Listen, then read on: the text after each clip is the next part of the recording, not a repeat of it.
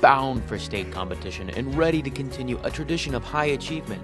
Six students from Harlingen High School South qualified for the UIL State Academic Meet in Austin next month.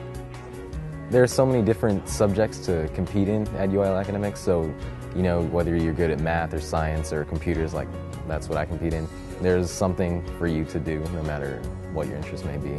Erik Rodriguez, Kevin Palapatti, Christian Young, Bianca Quintanilla, Jessica Young, and Devon Fierro all placed in the top three at the regional meet earlier this month. These students are already among the brightest in the state, proving once again that Harlingen students succeed at the highest stages of competition. I think academic UIL is really good because we get a sense of academics outside the curriculum that we learn in class, so we really get a head start against the other students and get to learn more advanced topics in our events.